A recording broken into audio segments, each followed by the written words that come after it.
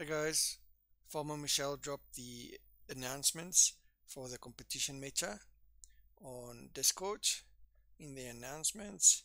So take a note of the time zone there. Um, uh, at 6 p.m. on the 12th. So it differs for everybody.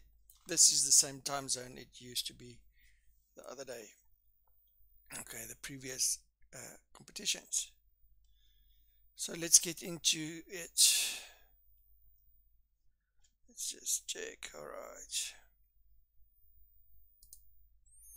So the competition will be Jam again, like, or not again, like it has been announced a couple of days ago.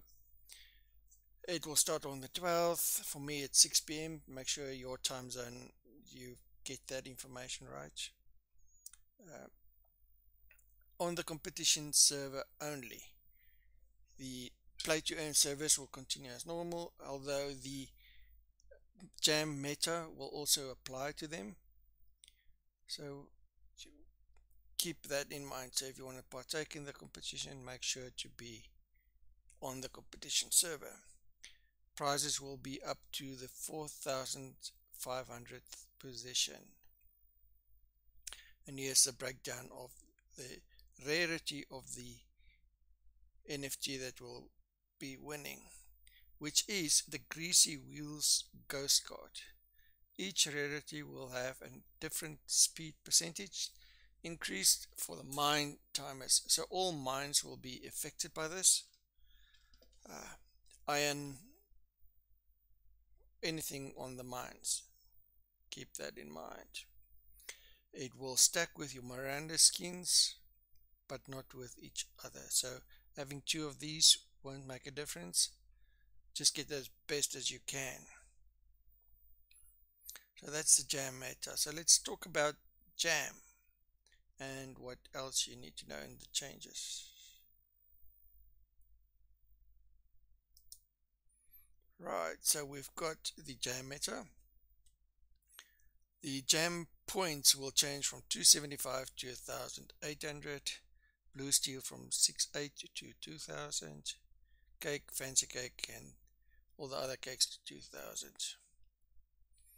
so basically just don't do anything else than jam. Practice your jam. Get that right. I've been practicing that so far. We'll see how that goes.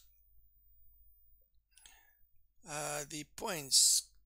Candy canes will go down to 200 these are the standard points as shown. I'm not going to go through all of them. You can look it up or just look at them um, if you want. What is of interest is the jam money you'll be earning. That's going down to 7,500 from 25,000. Right, so jam is the meta. So what do we need for jam? You need to know that you're going to get lots of stars, 1800 per jam and 7500 to maintain all your cash flow.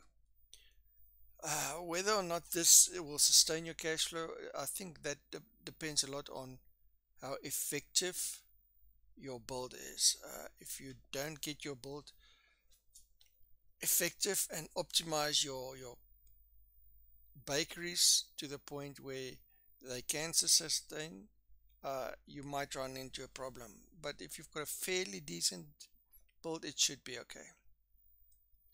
So to create one jam, you'll need 10 strawberries, 3 sugar and 1 water drum. And you need to craft that in a bakery and it takes 60 seconds to craft one.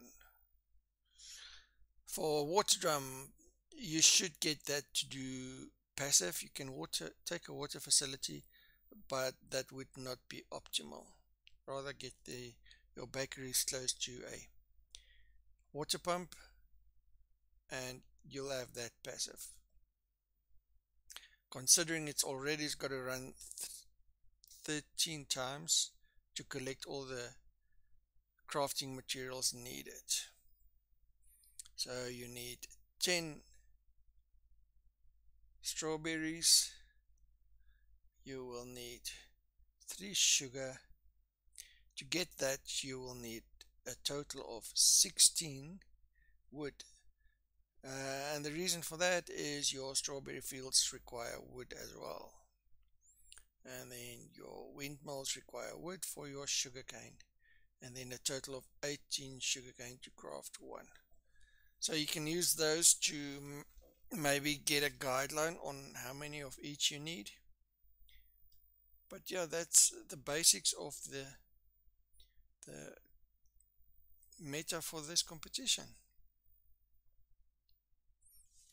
I wish you all the best of luck and see you on the other side